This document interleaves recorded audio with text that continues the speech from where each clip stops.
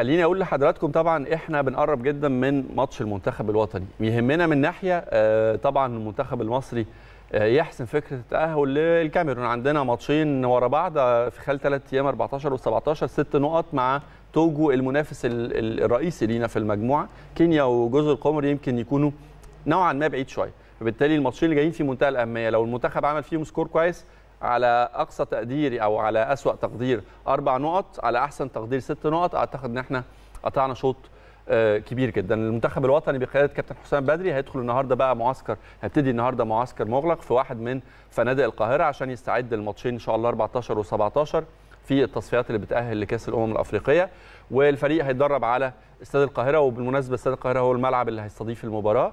والحقيقة يمكن اتحاد الكرة في الإطار ده كان حصل على كل الموافقات الأمنية اللازمة والمنتخب كان حصل على راحة لمدة 24 ساعة ويستأنف تدريباته إن شاء الله بإذن الله النهارده. طبعا المفروض يوصل الثلاثي محمود.